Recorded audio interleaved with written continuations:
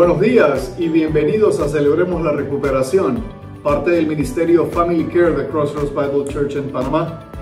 El invierno como que está asomando su cabeza, ¿verdad? Ya hemos recibido un par de lluvias aquí y allá, así que les recomiendo disfrutar de los días soleados que nos restan, ¿ok? Pero también les recuerdo que si todo fuera sol, viviríamos en un desierto, así que tenemos que tomar ambas cosas. Gracias por separar un espacio de tu domingo para invertir en tu salud mental y también en tu salud espiritual y desear avanzar con pasos pequeños, como le decimos en inglés, baby steps, cada domingo. Cada domingo hacia un mejor futuro, una nueva esperanza, que solo podemos obtener a través de una relación con nuestro poder superior, nuestro Señor Jesucristo. En el día de hoy seguiremos explorando la parte 2 del tema de las enmiendas y deseo traer una meditación relevante al tema antes de dar paso a Enrique, el cual nos compartirá la segunda parte de la necesaria acción de hacer estas enmiendas. La meditación dice lo siguiente. Dos de las palabras más difíciles de expresar en el idioma español son lo siento. Por lo general sabemos bien quién merece oír esas palabras de nosotros y cuándo debemos decirlas. Sin embargo, encontrar el coraje y la disposición para expresarlas nos puede tomar horas, semanas o incluso a veces muchos años. Por otro lado, somos muy legalistas al esperar que otra persona haga sus enmiendas inmediatamente después que nos haya herido o traicionado. Continúa la meditación. Había esta pareja que después de 40 años de vivir una vida turbulenta, empezaron a asistir al programa de Celebremos la Recuperación como un último intento de salvar su matrimonio. Aunque no tenían esperanza de que nada pudiera mejorar su relación, aún así cada uno se comprometió a realizar el estudio de los pasos y a trabajar a través de la guía del participante, lo cual no es fácil, requiere mucha, mucha decisión y hay que ser intencional y tener mucha voluntad para hacer esto. Una noche, mientras estaba sentada en el patio de su casa, la esposa comenzó a trabajar en una de las preguntas muy difíciles de su libro de tarea. Para recordar lo que tenía que anotar, tomó un cuaderno que estaba cerca de ella, lo abrió para escribir y de inmediato se dio cuenta que el esposo había escrito en ese cuaderno su propio inventario moral espiritual, el cual era un requisito del cuarto paso, y ella leyó todo lo que él había anotado. Cuando el esposo regresó esa noche, ella de inmediato le confesó que había leído su diario, aunque ella sabía que había invadido su privacidad. Estaba tan herida por lo que había leído que no estaba dispuesta a perdonar ni tampoco estaba dispuesta a pedir perdón. El esposo se angustió porque el secreto que había anotado ahora solo serviría para aislar más a su esposa. Sin embargo, también estaba furioso y no estaba dispuesto a pedir perdón por sus acciones pasadas. Aunque la pareja no podía ofrecer perdón inmediatamente, Ambos contactaron a sus mentores y a compañeros de grupos para pedirles que oraran para que ellos pudieran enmendar su relación. En los siguientes meses, la esposa y el esposo hicieron sus enmiendas y se ofrecieron perdón el uno al otro. Ellos trabajaron el principio 6, en el cual estamos hoy día, donde dice, evalúo todas mis relaciones ofrezco perdón a aquellos que me han hecho daño y enmiendo los daños que he ocasionado a otros, excepto si cuando al hacerlo les dañará a ellos o a otros. El principio 6 trata sobre hacer enmiendas y la frase que utilizamos, perdóname mientras aprendo a perdonar, lo resume bastante bien.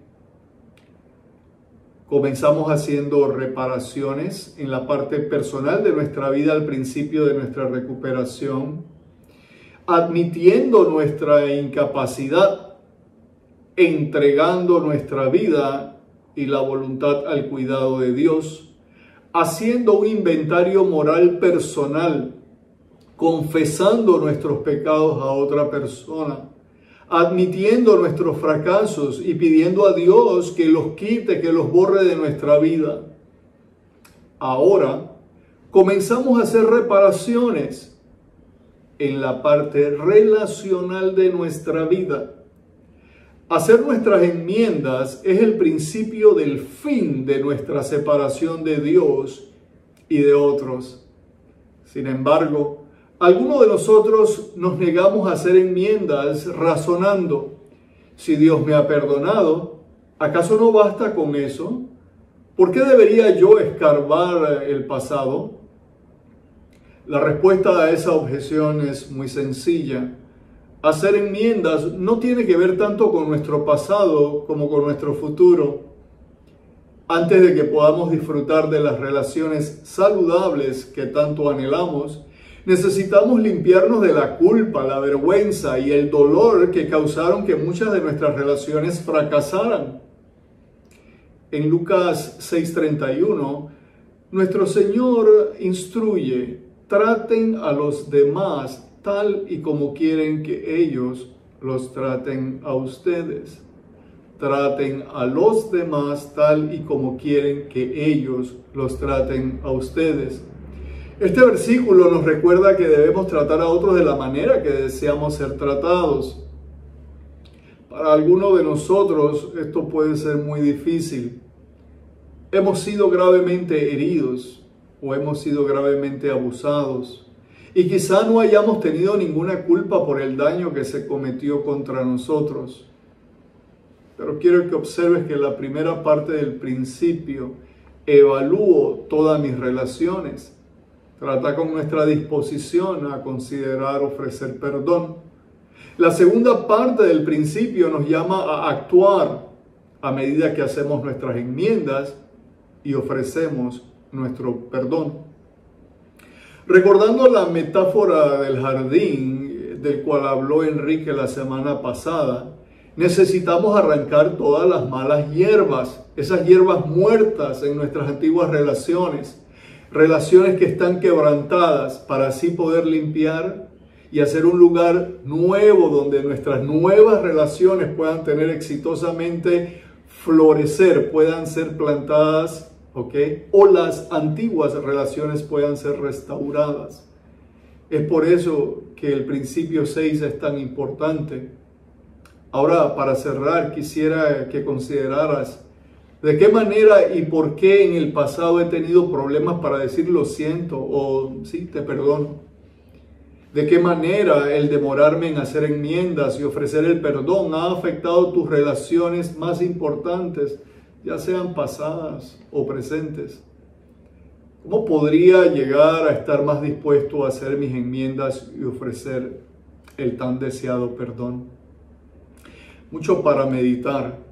Y la segunda parte en el día de hoy nos motivará a tomar esa decisión de enmendar y perdonar de la misma manera que Dios lo ha hecho conmigo. Gracias por compartir tu tiempo conmigo. Adelante, Enrique. Como recuerdan, la semana pasada estábamos hablando del paso de la enmienda. Como era un paso largo, comentamos que lo íbamos a dividir en dos partes. Y para la otra semana tenemos una sorpresita, así que no pierdan sintonía y el live sigue, no se lo pierdan. Dice, principio 6.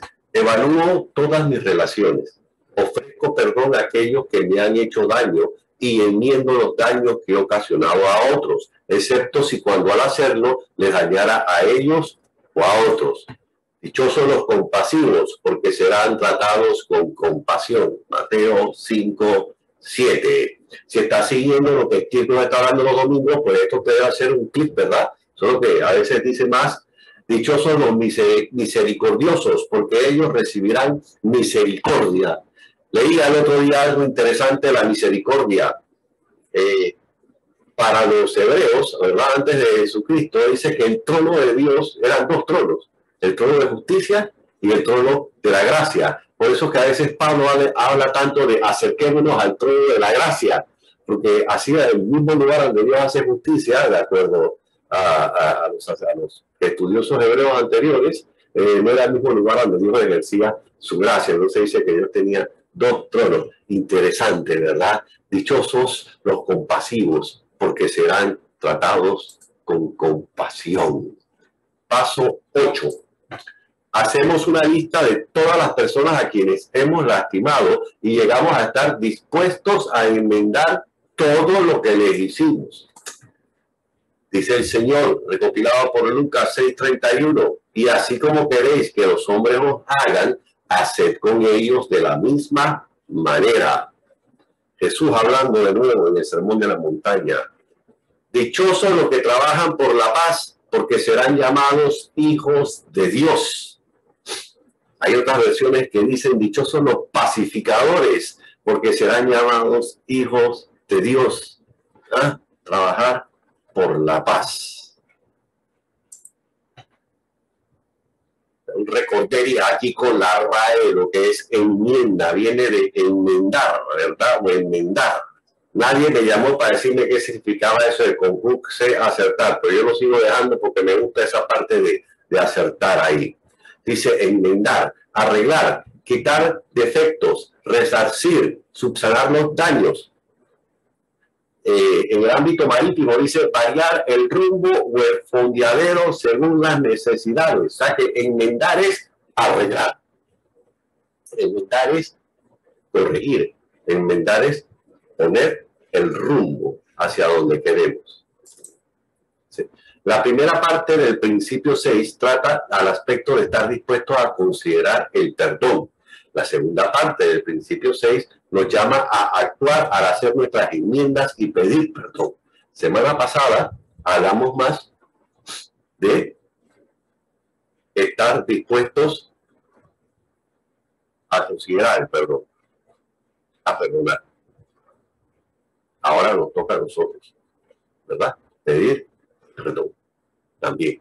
Levante la mano el que nunca la ha embarrado, por favor. ¿Ah? Ahora hay uno por ahí que nunca la haya embarrado, que pueda levantar la mano en algún momento hemos hecho daño.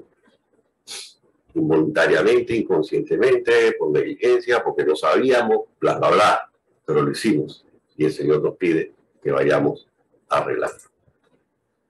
Volvemos a la metáfora del jardín, porque hay que sacar toda esa maleza muerta, ¿verdad? Que en nuestras antiguas relaciones, ¿para qué? Para poder limpiar ese jardín y que haya nuevas relaciones y podamos ser personas restauradas por Dios. Por eso es que este principio es tan importante. los que creían que iba a haber acróstico, aquí está, me siento como en los 15 años, así que estaría las 15 años con el acróstico del nombre empiece a vivir las promesas de regalo, de recuperación. No se oponga, manifiéstense ánimo, haga un inventario, una lista, hágalo en el tiempo correcto. No es por los demás, es por ti. Tenga disposición, admite la herida y el daño.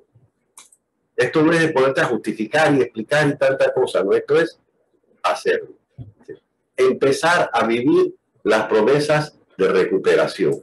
Al completar este principio, descubriremos el regalo de Dios de verdadera libertad de nuestro pasado. Empezaremos a encontrar la paz y serenidad que por mucho tiempo hemos buscado. Tal vez en este momento todavía estás en la tormenta. Tal vez en este momento estás todavía moviéndose la barca. Tal vez todavía tiene agua, ¿Ah? Y por más que sacas, tú piensas que no vas a acabar nunca, pero eso va a pasar. Eso va a pasar.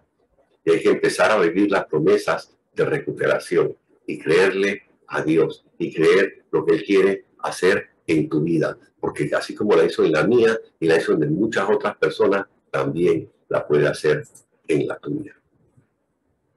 Estaremos listos a aceptar el propósito de Dios para nuestras vidas, las promesas de Dios. Increíble lo que dice en Joel 2.25.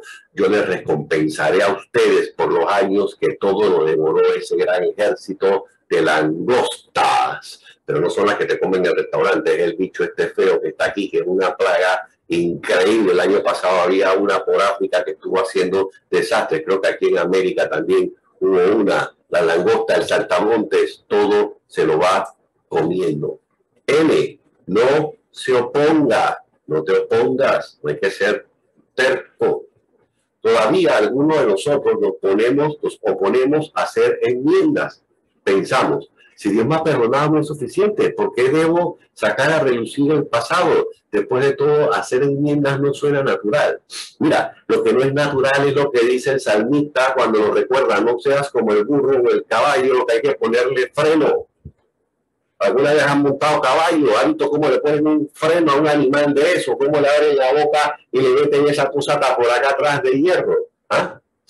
No nos opongamos, hay que hacerlo, hay que hacerlo. Punto.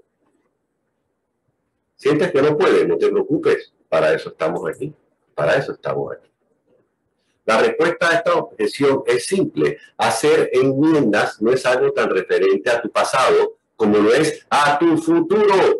Esto no tiene que ver con el pasado, enmendar no tiene que ver con el pasado, el pasado ya pasó, no podemos hacer nada por el pasado, pero enmendar prepara el, el camino para el futuro, así como prepara el jardín sacar las malezas para dar una cosecha. Esto es enmendar.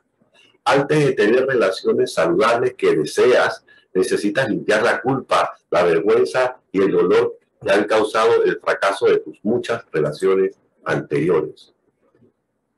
Manifiéstense ánimos unos a otros. Anímense. Porritas, cheerleaders, coaching, como lo quieras llamar. Hay que animarse unos a otros.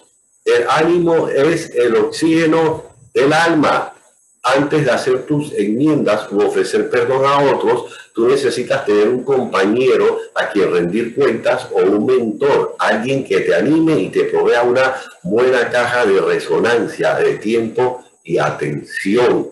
La opinión objetiva de esa persona es valiosa para asegurar que hagas enmiendas y ofrezcas, y ofrezcas perdón por los motivos correctos. En pocas palabras, habla la cosa con alguien. No lo hagas sin hablar y mira con quién vas a hablar antes de ir a hablar. No lo hables solo. Busca a alguien que ya lo haya hecho. A mí me pasó una vez. Una vez quería hablar con alguien, eso comenté la semana pasada, bueno, fui y hablé. La segunda vez, años después, yo, era algo que yo no podía ir. ¿Ah? Yo fui, ¿con quién hablé? Con Steve. Y Steve, mira, me pasa esto, no sé qué, le explicó. Vimos unas ideas aquí, allá, lo hicimos y se pudo. ¿Pero por qué? Porque yo busqué un tamborilero que mañana con esa caja resonancia. En este caso fue Steve. Si tú conoces a otra persona, si quieres buscar a otra persona, está aquí también. Para ver cómo resolvemos. Para que puedas enmendar. Procuremos estimularnos entre nosotros el amor y las buenas obras. Hebreo 10:24. Oh, esa carta es hermosa. La estamos estudiando en el desayuno de hombres los sábados en la mañana y es increíble lo detallista que fue ese escritor. Pero ¿sabes qué? Ayudarnos los unos a los otros, entre nosotros. Si alguien te pide ¿ah? que le des ánimo o ser compañero a quien se le rinda cuenta o ser un mentor, siéntete honrado. Es un privilegio. Y recuerda que tú no puedes tener una antorcha para alumbrar el camino de otra persona si no estás alumbrando el tuyo propio, tú me entiendes, si no van a estar como ciegos guiando a ciegos. Y inventariar, hacer una lista. Esto lo hablamos hace un tiempo, es verdad, pero Dios pudo haber revelado otras cosas que necesitas agregar a esa lista. Por eso es importante hacer una hoja de enmienda. Y cuando estás haciendo una lista, no te preocupes por lo cómo. Tranquilo, para eso está el Señor, el Espíritu Santo y su palabra, que nos ayudan a enmendar. No te preocupes, ¿cómo le puedo pedir perdón a mi papá? ¿Cómo podría perdonar a mi hermano por lo que hizo?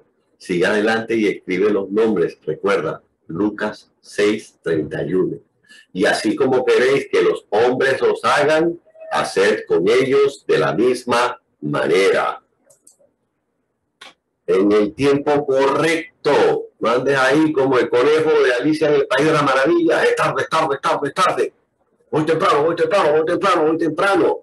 No, Este principio no solamente requiere de ánimo, buen juicio y disposición, sino también de un sentido correcto del tiempo. Salomón escribió en Eclesiastés, hay un tiempo para todo, todo tiene su tiempo. Hay un tiempo para dejar que las cosas sucedan y un tiempo para hacer que las cosas sucedan. Un tiempo correcto y un tiempo incorrecto para ofrecer perdón y hacer enmiendas. ¿No has escuchado un juicio que está de moda en Panamá y que la justicia tardía no es justicia? Todo tiene su tiempo. Hay que hacer las cosas en el momento preciso. Mira, la, la vez esta que, que, yo fui a hablar con personas, Dios me estorbó, el Espíritu Santo me estorbó, no me dejaba. Era algo que yo tenía dentro de mí que decía, yo tengo que ir a hablar, yo tengo que decir que perdoné, yo tengo que ir a pedir perdón. Era algo que estaba dentro de mí eh, que, que, que, no me dejaba. Pero era el tiempo. El tiempo, si no lo haces en el tiempo que es, se pierde. Se pierde. A nuestra generación nos ha tocado mucho por de moda como cocinar. ¿ah? La comida tiene un tiempo. Si no te la comes en su momento, no es igual. Igual es con el perdón y el enmendar. Eso tiene su tiempo y su momento. Dios te lo va a decir. El Espíritu Santo te va a guiar. De ti depende ser sensible. Antes de, de hacer enmiendas, necesitas orar y pedirle a Jesucristo su dirección, orientación y su perfecto uso del tiempo. Recuerda que este principio 6 también dice, excepto si cuando al hacerlo los dañaría a ellos o a otros. Hey, si lo que vas a hacer no suma ni resta y lo que hace es que divide, no lo hagas. No lo hagas. Si, si la persona se va a sentir mal, no lo hagas. Ora y Dios te va a poner esa convicción en ti. Esta carta de, Pablo a Filipenses es eh, hermosa, ¿verdad? Dice que una de sus iglesias amadas, la iglesia de Filipo, mira lo que le dice, cada uno debe velar no solo por sus propios intereses, sino también por los intereses de los demás. ¿Tienes duda? Dios es experto quitando dudas. Rapidísimo, buenísimo quitando las dudas. El Señor te las elimina de una sola vez. No esperes a que tengas ganas de hacer enmiendas u ofrecer perdón. Vivir este principio lleva consigo un acto de voluntad o quizás debería decir una crisis de la voluntad, como te decía yo que me pasó, que no podía, o sea, ay no, es que yo no tengo ganas de pedir perdón. ¿Quién te ha dicho que tiene que tener ganas de ya perdón? Tienes que ir a pedir perdón. Ora, ora a Dios, preséntate delante de Dios, arrodíllate, humíllate ahí en el suelo delante del Señor. Y Él te va a guiar, Él te va a decir de la Biblia, hacer tu enmienda es un acto de obediencia a la escritura y de sobrevivencia personal. Es un dos en uno. Es así, ¿eh? Uno solo. No son dos cosas, dos para un tiro. Es un acto de obediencia y sobrevivencia personal. Recuerda, recuerda, el mayor beneficiario de enmendar eres tú. Tu futuro. La familia. Lo que tú anhelas ese es tu mayor beneficiario. En enmiendas es la razón para hacer enmiendas. No por ellos, no es por ellos, es por ti. Necesitas acercarte a las personas a quienes le estás ofreciendo tu perdón o con quien estás haciendo enmiendas humilde, honesta y sinceramente. Y sobre todo con disposición. No ofrezcas excusas o intentes justificar tus acciones. Enfócate solamente en lo que corresponde ya eso pasó. Tú seas el perdonador o tú seas el perdonado, ya eso pasó. No es tiempo de ponerse a explicar, no es tiempo de justificar, no es tiempo de ponerse a razonar. ¿Mm? Es pedir perdón o dar el perdón. Y ya, ¿por qué? Por ti en cinco palabras, aquí está el secreto para hacer enmiendas exitosamente. No esperes nada a cambio. No esperes nada a cambio. No va a pasar nada. Con las personas que yo fui a hablar, una ni me respondió, ni siquiera me dio las gracias. Y la otra me dijo, yo nunca te he hecho nada, no sé cuál es el problema. No esperes nada a cambio. No va a pasar la cosota, no va a bajar Dios del cielo, ni va a temblar la tierra. No, no esperes nada a cambio. Tú estás haciendo tus enmiendas no por una recompensa, sino para ser libre de tus heridas, complejos y hábitos, para tener completa libertad. El principio 6 dice que ya no somos responsables enmiendo los daños que ocasionado a otros. Jesús dice, amen a sus enemigos, hagan el bien y presten sin esperar nada a cambio. Dios nos, nos ama generosa y compasivamente, aunque estemos en nuestros peores momentos. Dios es amable, necesitamos ser amables, con amabilidad, con amor. La buena palabra aplaca la ira. Dice, hay, hay un, creo que es un proverbio un poco complicado en nuestra época que dice que la buena palabra es como manzana de oro. Claro, a no se nos ocurre de plata, no se nos ocurre como una manzana de plata. Pero lo que quería decir el escritor es que es algo que es bueno, sabroso, es algo como que, hey, la palabra bien dicha es como un mango sabroso. Nada, como comienza un buen mango, ¿ah? Para mí, yo comemos un mango buco pocotón, como decimos nosotros. En el, año nos comemos varios mangos, pero a veces hay uno que es el que es. Así es la palabra bien dicha, como un mango sabroso. Y esa es la actitud que debemos tener. Sabes que puedes volverte adicto a tu amargura, odio y venganza, así como seas adicto al alcohol, drogas y relaciones dañinas tuviste en El Señor de los Anillos, que estaba el Gollum con, con, el anillo decía, mi tesoro, mi tesoro, mi tesoro, mi tesoro. Y en una, en una de las películas enseñan cómo se transformó el Gollum, ¿verdad? Cómo su maldad por el anillo lo, lo dañó. Así mismo pasa. Pues queda como el Gollum. ¡Ah! Que lo odio. ¡Ah! Que lo perdono. ¡Ah! Que no sé qué. Leí esta semana una, una persona en el periódico que le tiene tanta rabia a otra que decía, yo jamás podré perdonarte. Yo, wow, Señor, ojalá tú le mostraras lo que es el amor y el perdón a esa persona que aún dice que jamás podrá perdonar. Una vida caracterizada por la amargura, resentimiento e ira te matará emocionalmente y marchitará tu alma. En vez de sacar la lleva mal y la maleza del jardín, le estás echando a uno, le estás echando a uno, lo estás abonando Mira el clavo que cae, ¿eh? Está tan bravo que él mismo se quiere martillar. Así. Así. Hace mucho daño. Mucho daño. Tal vez algunos de ustedes conozcan personas que son así. Que prefieren odiar en vez de amar. Que prefieren vengar en vez de enmendar. Que prefieren dañar en vez de arreglar. Y hay a veces hasta nuestras comunidades también hay personas así.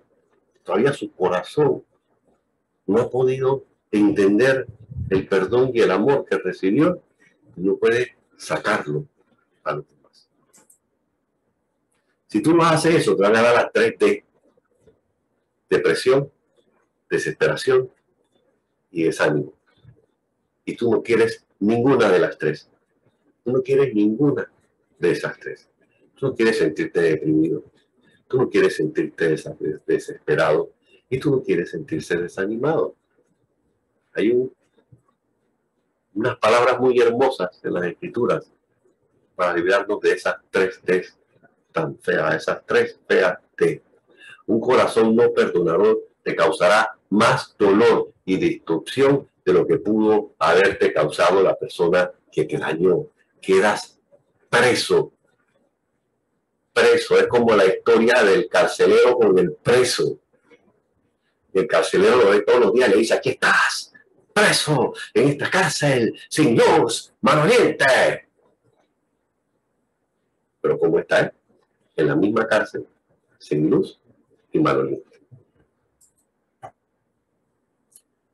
Disposición, estar dispuesto Como lo hemos dicho antes, es tiempo para estar dispuestos a considerar el perdonar, dispuestos para hacer enmiendas y dispuestos a pedir perdón.